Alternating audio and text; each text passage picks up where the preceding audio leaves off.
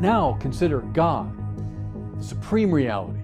The Father can produce an image that is perfect, a perfect reproduction of his own being, possessing the mind, will, personality, freedom, power, love, simplicity of the Father. So indeed, we say in that same creed that the Son is God from God, light from light, true God from true God.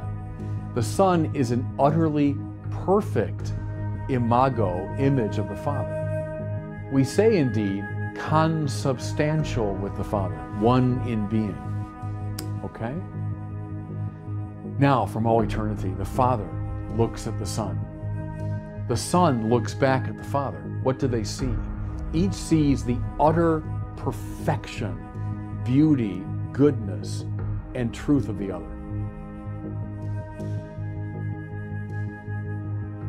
And so they naturally, necessarily, automatically fall in love with each other. To use Fulton Sheen's beautiful phrase, they, they sigh their love for each other. That sigh, that holy breath, we call the Spiritus Sanctus, the holy breath, the Holy Spirit.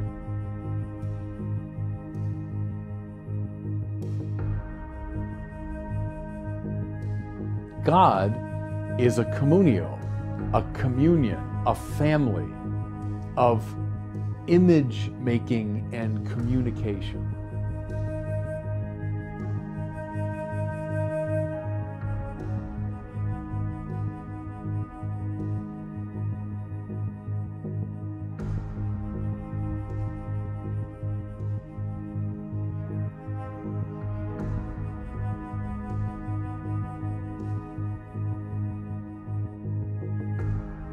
The Son is eternally begotten of the Father, and the Holy Spirit uh, proceeds from the Father and the Son. Now, from our perspective, we only know the perspective of time, how things happen within time. Uh, and so it would seem that within time, if a father exists and then uh, he begets a son, and and then the two of them uh, have such great for, love for each other that that creates somehow or begets a, a third person that it would seem as though well the the father or the, the son and the holy spirit are dependent upon the father. But that's not the understanding of, of this from a uh, much more highly theological perspective in, where we recognize that this happens eternally. It, it's a constant, um, a, it's always happening. It has always happened. There wasn't a time that the Son did not exist. There was not a time that the Holy Spirit did not exist. In fact, uh, they exist outside of time. And that's hard for us to understand, but uh, that word eternity and e- eternally begotten is very important to to really understanding this relationship. And the only way we really distinguish from between the persons of the Trinity is their relationships with each other.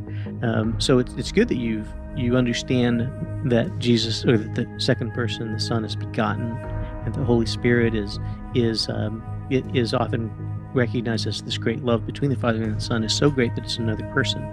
But we have to get away from thinking of it in in a sort of succession within time because it's something that happens eternally and and the, the son and the holy spirit uh, there was never a time when they did not exist